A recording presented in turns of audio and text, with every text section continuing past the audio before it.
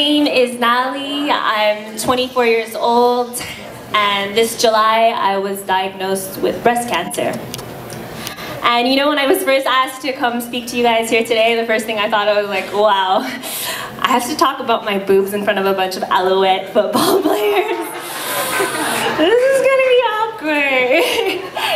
but no, now you're probably all looking at me right now thinking, wow, she's really young. And you're right, we're really used to seeing you know, people with breast cancer 50 years and up, and uh, we see the pink ribbons and the campaigns, and we think of our mothers, our grandmothers, we just think of others, but we never really think it's gonna happen to us. At least I didn't. So I keep wondering, why me? And then I actually received my results from the genetic research that we were doing to see if I carried the BRCA gene, which is the breast cancer gene um, that you have, which proves it to be hereditary. I don't carry the gene.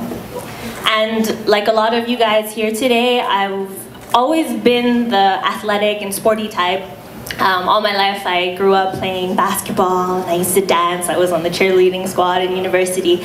I'm a regular at the gym and I eat really healthy.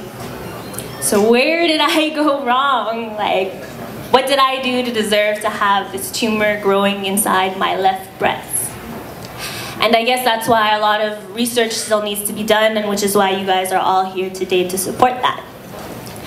Um, but for my part, during my cure, I stopped asking why.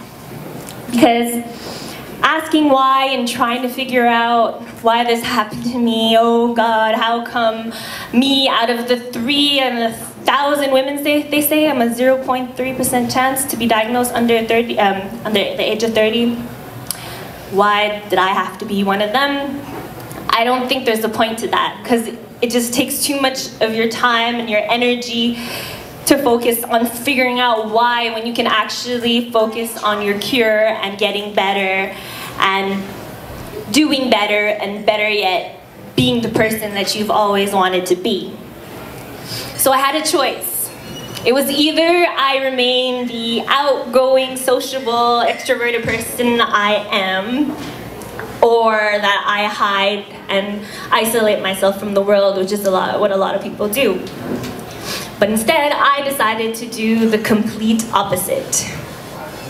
And that's how I started Nalie.ca. I don't know if look, you guys have visited it, but it's a blog that I started, and it's basically my online diary.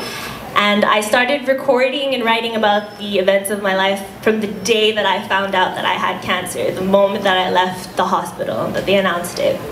And uh, ever in my blog you'll see I share moments where I have my long beautiful black thick hair and I'm talking to the camera and I go to my first treatments. Um, you'll see when I go to my first chemo and when I start slowly losing my hair to the moment where I look at myself in the mirror and I'm completely bald and I'm like shit this is happening for real. So You'll see from my highest highs to my lowest lows, everything is on there with nothing to hide for you, all for you to read, watch, and share. Um, I honestly started writing it for myself as my release, and I, not, I never thought anyone would read it. But ever since I released it, there's been over 150,000 hits on my blog, and um, from all around the world. But honestly, it's not even about the number. Ever since I've been having people with cancer and without cancer write to me on the daily and telling me how my blog has somehow helped them cope and that I've inspired them and that I've changed their, their lives. My journey has been actually really exciting. Um, earlier this month I ran 5K um, for the Run for the Cure with Team Nalie and altogether we raised yeah, we raised $27,000 for the Quebec Breast Cancer Foundation. Um, I've been featured on CTV, CBC, Global, Huffington Post, and now I'm here talking to you guys tonight. I guess it's like I finally found my purpose. I wrote a poem in my blog. It's called The C Word, and in it I say, It's too easy to make 10% of what happens to you in life a disaster.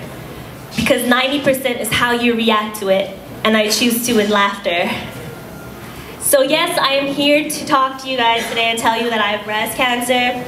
I'm young, I'm healthy, so really, it could happen to anybody. So ladies and gentlemen, get your boobs checked.